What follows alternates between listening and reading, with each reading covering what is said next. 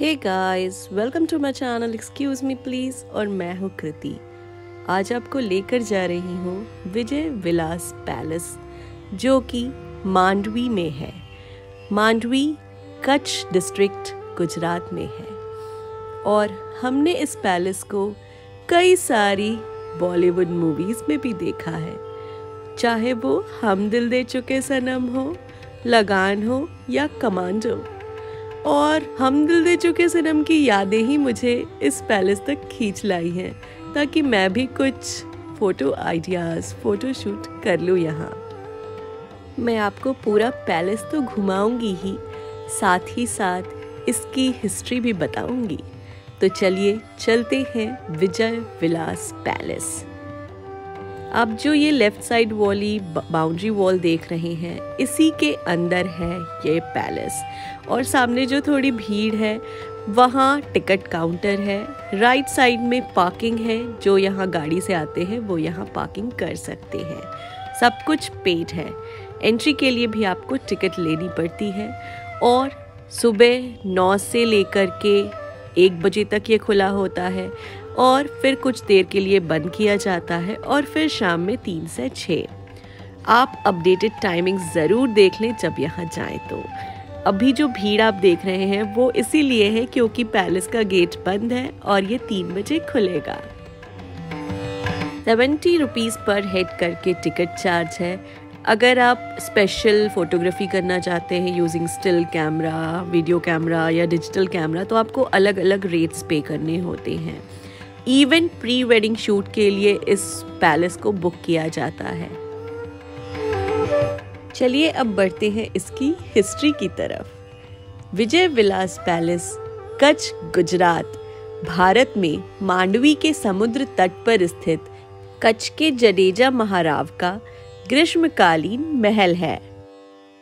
कच्छ के महाराव महाराव श्री खेंगर जी तृतीय के शासनकाल के दौरान अपने बेटे और राज्य के उत्तराधिकारी युवराज श्री विजय राज जी के उपयोग के लिए एक ग्रीष्मकालीन रिजॉर्ट के रूप में निर्मित। इसका नाम उनके नाम पर विजय विलास पैलेस रखा गया था।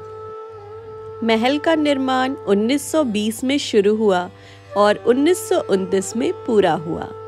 महल लाल बलुआ पत्थर से बनाया गया था।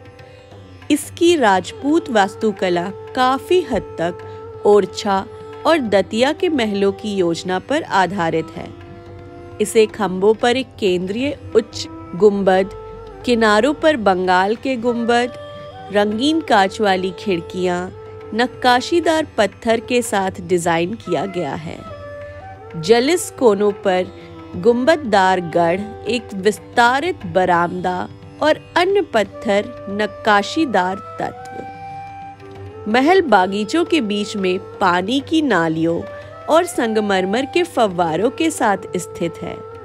जलियों, झरोखों, छतरियों, छज्जों, भित्ति चित्रों और अन्य पत्थर की नक्काशी के नक्काशीदार पत्थर के काम, खिड़कियाँ और दरवाजों के पैनल पर रंगीन कांच का काम जयपुर, राजस्थान, बंगाल और सौराष्ट्र के वास्तुकार और शिल्पकार और स्थानीय कच्छ कारीगर समुदाय द्वारा किया गया है।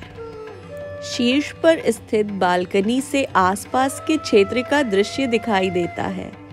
खिड़कियाँ खुले में होने का आभास देती हैं, जिससे होकर समुद्री हवाएँ गुजरती हैं। परिसर में विजय राज़ी की एक छतरी भी है, जिनकी मृत्यु 1948 में हुई थी। अगर वर्तमान स्थिति की बात करें तो विजय विलास पैलेस का अपना निजी समुद्र तट है। यह रातों रात आवास प्रदान करता है। 2001 के गुजरात भूकंप के बाद कच्छ राज्यों का शाही परिवार अब महल में स्थायी रूप से निवास करता है, जिसमें भुज के एक अन्य महल रंजीत विलास का एक पंख भारी क्षतिग्रस्त हो गया था। पैलेस में एक संग्रहालय भी है मैं जब यहाँ आई तो मैंने सबसे पहले ऊपर जाना प्रेफर किया। मैं ऊपर छत वाले इलाके पर आ गई, ताकि मैं फ़ोटो शूट्स कर लूँ। और जो आप ये अलग अलग कोने अलग अलग इलाके देख रहे हैं, सभी कोने अपने में ही महत्व रखते हैं, अपने में ही एक अलग खूबसूरती देते हैं, जिसमें आप घंटों बिता सकते हैं और कितनी भी फ़ोटोएँ खींच लें वो कम ही लगेंगे। ऊपर आने के लिए हमने जिस सीढ़ी का इस्तेमाल किया था, आपने देखा होगा वो कितनी पतली थी और उसी पतली सीढ़ी से हम लोग ऊपर आए हैं और मेरे हिसाब से यहाँ कितने भी वक्त मैं गुजार लूँ अलग अलग लोकेशंस और मूवीज़ में जो सीन्स आए हैं उस लोकेशन के, यही याद करते करते मेरा सारा वक्त बीतने वाला है। इस छत के ऊपर भी जो छत है, उस पर हमें सिर्फ़ लिमिटेड टाइम का एक्सेस दिया जाता है, जिस पर ऊपर जाने के लिए अलग से लोहे की सीढ़ियाँ जो घूमती हुई हैं, उससे हम लोग ऊपर जाते हैं और उतरते भी हैं। एंड इन एंड आउट का डायरेक्शन दिया हुआ है। ऊपर आप सिर्फ़ आधा घंटा ही बिता सकते हैं। जो ग्राउंड फ्लोर है, वो एक म्यूज़ियम की तरह काम करता है और जो कमरे हैं, वो देखने लायक हैं। उसकी सजावट, जो फोटोग्राफ्स लगे हैं, जो भी फ़ेमस पर्सनालिटीज़ ने यहाँ विज़िट किया है। और ऐश्वर्या राय का कमरा हो, या फिर वो डाइनिंग हॉल जहाँ पर समीर गाना गाता है, हम दिल दे चुके सनम में, सब देखते देखते आपको ऐसा लगेगा कि आप उस मूवी में ही कहीं खो गए हैं, और फिर हम उन कैरेक्टर्स को ढूँढने लगते हैं। महल का फ़र्स्ट फ्लोर जो है, उसका एक्सेस नहीं है हमें और नॉर्मल पीपल वहाँ जा नहीं सकते। वो स्पेशल गेस्ट के लिए या फिर जब मूवी शूटिंग होती है तो उस पर्पस के लिए ही खोला जाता है। मैंने पहले छत पर जाना प्रेफर किया क्योंकि तीन बजे जस्ट गेट खुला था और काफ़ी भीड़ थी। बट पहले हमें ग्राउंड फ्लोर घुमाया जाता है, जिसमें कि हमें फ्री गाइडेड टूर प्रोवाइड किया जाता है।